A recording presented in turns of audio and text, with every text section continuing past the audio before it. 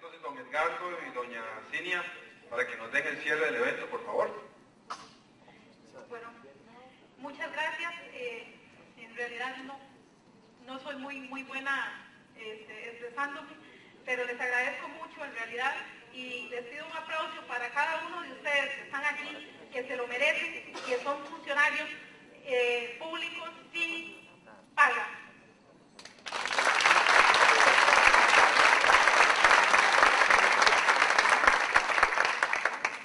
Yo lo siento porque, bueno, para nadie es un secreto en mi comunidad, este, nosotros vivimos sufriendo de contaminación de agua y hemos venido en una gran lucha este, contra eh, empresas transnacionales que nos están contaminando el agua. La, la, instancia hoy es, el problema no es solamente de la comunidad de Milano de Siquirres, ni de la comunidad de Cairo, ni de la Francia, ni de los sectores donde se está contaminando el agua. Es un problema nacional y no solo nacional, a nivel mundial. Anteriormente escuchamos que solamente un 1% de agua hay y es potable. Y estamos permitiendo que empresas transnacionales que vienen y se llevan las riquezas del país porque no quedan en el país y nos contaminan el agua y no estamos haciendo nada. Estamos callados porque no es mi problema, es el problema de la comunidad de Milano o, el cantón de Siquirres que se está contaminando y no es cierto. Estamos cerrando los ojos ante algo tan grande y tan grave. Están contaminando nuestro líquido vital y estamos permitiéndolo día con día y allí estamos sentados esperando a que alguien nos solucione. Yo he tomado la iniciativa, hemos hecho bastante y creo que todavía hay más por hacer, pero necesitamos de estos espacios para apoyarnos unos con otros y hoy le pido que nos apoyemos y cuidemos este líquido y empecemos a hacer grandes esfuerzos para que este líquido lo podamos conservar nosotros en buen estado. Gracias. Y algo más, este, quería solicitarles el apoyo a la ley o al reglamento que está impulsando o que se ha venido impulsando a través de Coforza de hace muchos años. Eh, este, reglamento de asadas por iniciativa popular no es porque alguien se le antojó, es acorde a nuestra función en las asadas, acorde a lo que nosotros vivimos día con día. Es eh, la ley 17.914, que por favor nos apoyemos, nos agrupemos, estamos aquí, somos varios representantes y sigamos con esa iniciativa. Gracias.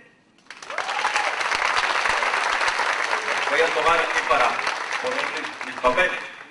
Bueno, están muy cansados y con mucha hambre. Quisiera hacer lo más rápido posible en mi intervención. Primero, felicitar a todas y todos los asistentes a esta actividad. Sinceramente, de parte nuestra, nuestro agradecimiento sincero por ese esfuerzo que hicieron compañeras y compañeros de las diversas comunidades del, país, desde el norte hasta el sur y desde el Atlántico hasta el Pacífico. Quisiera, con todo el respeto, solicitarle a los compañeros que conformaron la comisión central de esta actividad, como decía nuestro amigo señor don Oscar Izquierdo, esto fue un parto de nueve meses, de un matrimonio realmente difícil, la sociedad civil y el Estado. Yo creo que recuerdo en mi existencia, es una de las primeras oportunidades en que pudimos conversar y sentarnos a la mesa para venir a realizar esta actividad y que me voy muy satisfecho por los logros obtenidos y creo que ustedes aún más por estar hoy viendo resultados positivos de, esta, de este Congreso. Y quiero pedirle a mis compañeras y compañeros, porque sin el trabajo de ellos, el esfuerzo, la dedicación que tuvieron durante estos nueve meses, no hubiera sido posible eh, pues, hacer la actividad. Me refiero a mis compañeros de los acueductos comunales, don Edgar Vega, y le voy a pedir a los compañeros que se pongan aquí al frente, a don Rolando Marín, a don Juan Rafael Brenes, a don Eliezer Araya, a don Francisco Dávila, a don Ismael Martínez. Esos son compañeros de la sociedad civil, representantes de ustedes. Pero también teníamos compañeras y compañeros de las diferentes instituciones y de las ONGs que también conformaron y también la parte académica.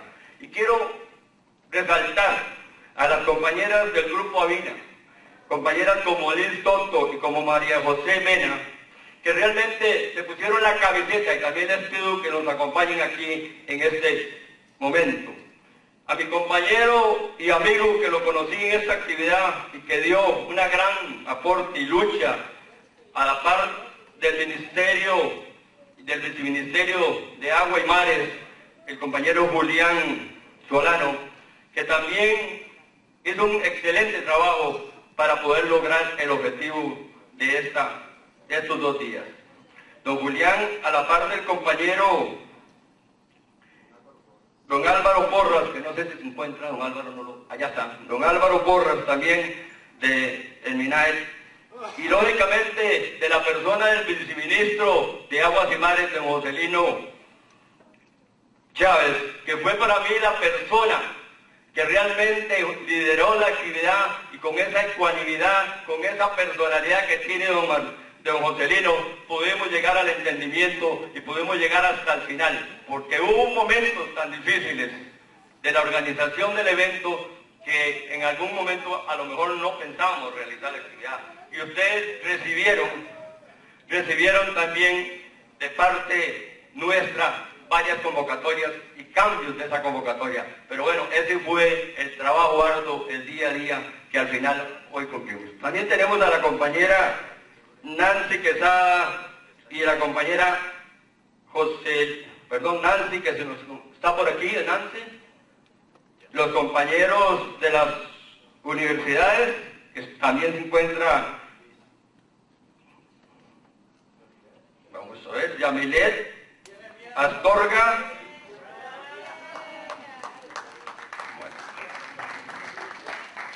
Cintia Hernández, de la UTN, esta organización que nos dio el compañero Andrés Araya, del CONARE, una gran persona que trabajó ayer muchas horas en la noche para hacer ese resumen tan importante que fue don Elías, el licenciado Elías Rosales, don Oscar Izquierdo y el compañero Lenin Martínez de Acueductos y Alcantarillados,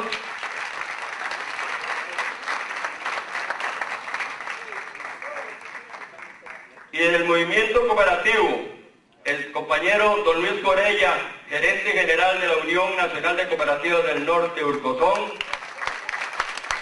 el señor profesor licenciado Estefano Arias Ocampo, gerente general del CENECOP, y el ingeniero agrónomo Rodolfo Navas Alvarado, presidente del CENECOP, que tuvieron que ausentarse por compromisos familiares que tenían en estos momentos.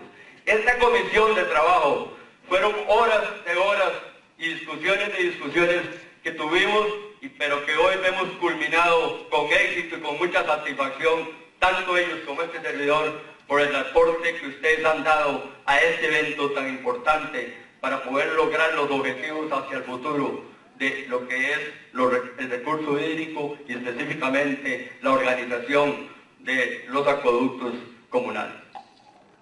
Yo quiero nuevamente un aplauso y pedirles ya que, pasen a sus lugares, pero sinceramente, sinceramente yo me voy muy satisfecho y quiero agradecerle al señor viceministro de Aguas y Mares el darme esta oportunidad ante ustedes de poder dirigirme estas palabras. Y quiero decirles de que ustedes se van a las comunidades con un gran reto y con un gran compromiso. El compromiso es de llegar a trabajar con más ganas, con más deseos de hacer las cosas bien. Hay algo importante que yo he ido viendo en las asadas y es la identidad de los acueductos comunales.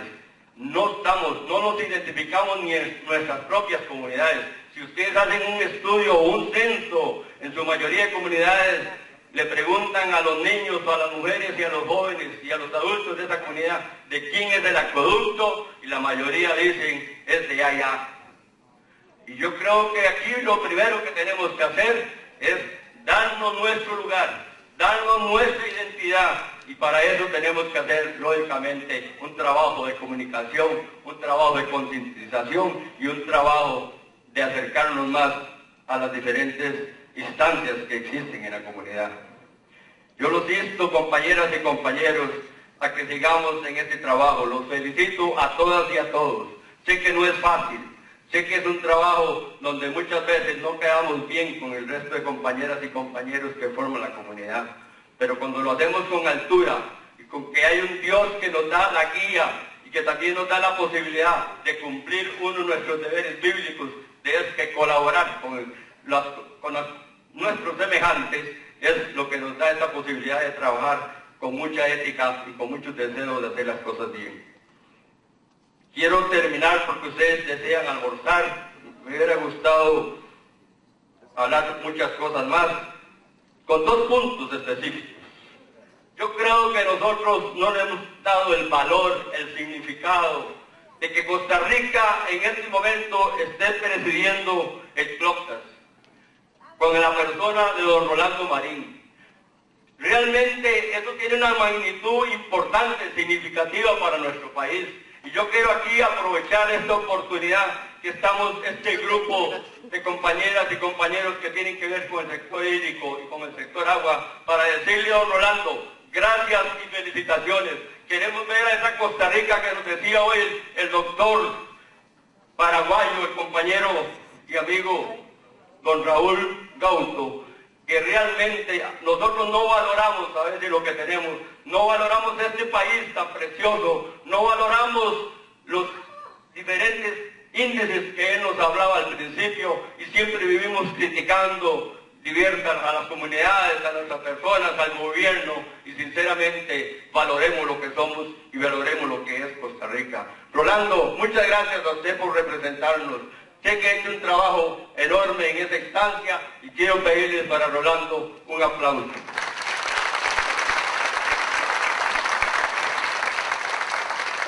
Hoy aquí me encontré con grandes sorpresas con compañeros y compañeros de diferentes zonas del país. Y quiero en representación de todas y de todos recalcar el trabajo de liderazgo de don Salvador mexicano en la zona norte de Upala, en los cantones de Upala, Guatuso y los Chiles, como el compañero Tony Zúñiga de la zona sur. Yo creo que aquí no venimos con diferencias ni apoyos a unos a otros Aquí venimos con el deseo de hacer las cosas nosotros mejor, de que las comunidades donde estemos verdaderamente estén identificadas y trabajando en pro del desarrollo de los pueblos. Ellos también mis felicitaciones en nombre de todas y de todos ustedes, porque realmente eso es lo que queremos, estar juntos, trabajar juntos, lograr el objetivo que todos queremos, trabajar en bien de este país y de nuestras comunidades. Termino con un prodigio de nuestro querido poeta Jorge de Brado, que dice, hoy he encontrado a un hombre caminando, sin apoyarse en nadie, caminando, sin que hubiese camino, caminando, como si no quisiese llegar tarde caminando. Su mirada tenía forma de corazón y adentro de sus ojos se vivía un mundo caminando. Aunque parezca absurdo e increíble, hoy he encontrado a un hombre caminando, sin mirar la distancia, caminando, sin pedir compañero, caminando, sin apoyarse en nadie, caminando, y que hubiese caminado, caminando. Para todos, bendiciones, feliz regreso y que Dios nos dé la oportunidad de seguir contigo. Muchas gracias.